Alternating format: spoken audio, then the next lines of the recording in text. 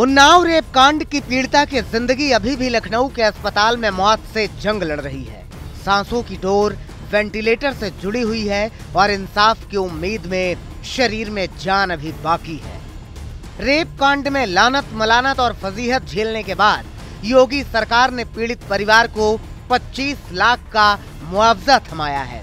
लेकिन परिवार अभी भी इस दहशत में जीने को मजबूर है कि पता नहीं कब बाहुबली विधायक कुलदीप सिंगर, बाकी बचे लोगों को भी मरवा दे। दिया सेंगर ने मेरे चार चार लोगों को एक्सीडेंट करा करके दो लोग तो ख़त्म हो चुके हैं दो लोग घायल पड़े हैं। मैं हम दवा मेरी यहाँ हो रही अच्छी से।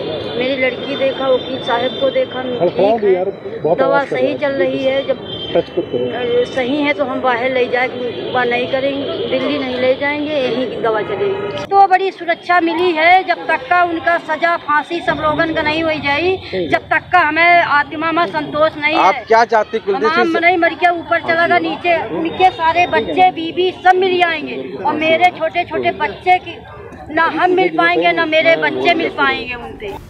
उन्नाव रेप कांड में सीबीआई ने अपनी जाँच तेज कर दी है। सुप्रीम कोर्ट की सख्ती के बाद जाँच एजेंसी न सिर्फ़ लखनऊ रायबरेली हाईवे पर उस जगह का मुआयना कर लिया है, जहाँ पीड़ित की कार और ट्रक की टक्कर हुई थी, बल्कि पीड़िता की माँ और परिवार से भी केस और हादसे के बारे में जानकारी ली है।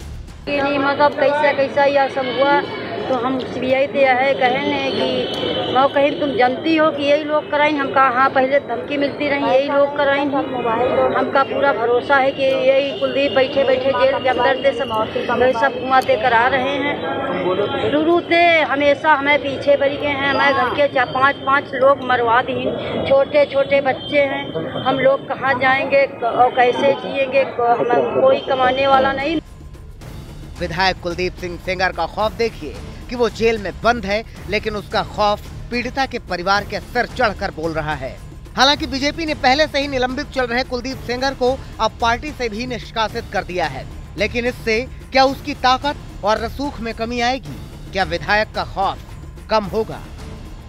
लखनऊ से आशीष श्रीवास्तव और कुमार अभिषेक।